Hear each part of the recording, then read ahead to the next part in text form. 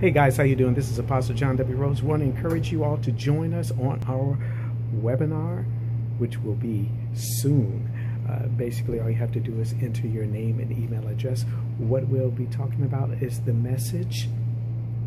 Lord, teach us to number our days as well as monitor our ways.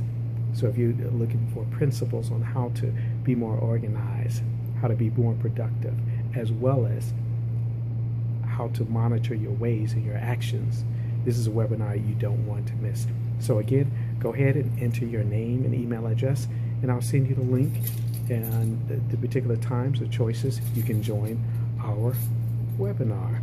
Again, on Lord, teach us to number our days as well as monitor our ways. So we look forward to seeing you on our Bible study webinar. God bless you. This is yours truly. Apostle John W. Rhodes.